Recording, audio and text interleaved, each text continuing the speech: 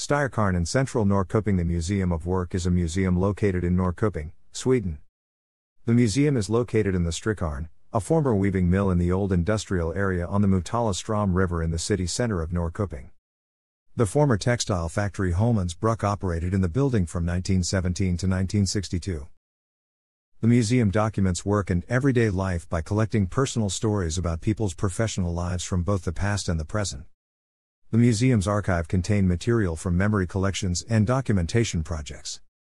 Since 2009, the museum also houses the EWK, Center for Political Illustration Art, which is based on work of the satirist Ewert Karlsson.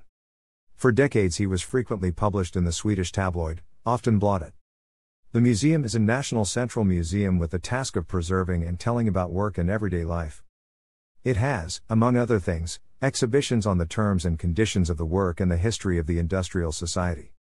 The museum is also known to highlight gender perspective in their exhibitions.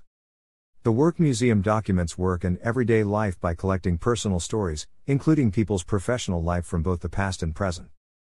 In the museum's archive, there is a rich material of memory collections and documentation projects, over 2,600 interviews, stories, and photo documentations have been collected since the museum opened. The museum is also a support for the country's approximately 1,500 working life museums that are old workplaces preserved to convey their history. The Museum of Work shows exhibitions going on over several years, but also shorter exhibitions, including several photo exhibitions on themes that can be linked to work and everyday life. The history of Alva Karlsson is the only exhibition in the museum that is permanent.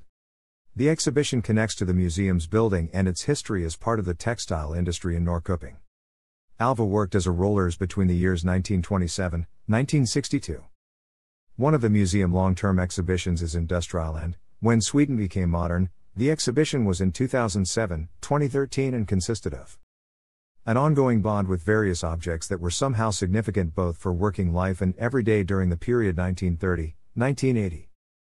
The exhibition also consisted of presentations of the working life museums in Sweden and a number of rooms with themes such as leisure, world, living, and consumption.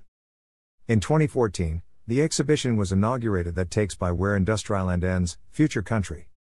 It is an exhibition that investigates what a sustainable society is will be part of the museum's exhibitions until 2019. The exhibition consists of materials that are designed based on conversations between young people and researchers around Sweden. The exhibition addresses themes such as work, environment, and everyday life. A tour version of the exhibition is given in the locations Falun, Kristianstad, and Örebro. Since 2009, the museum also houses EWK, Center for Political Illustration Art.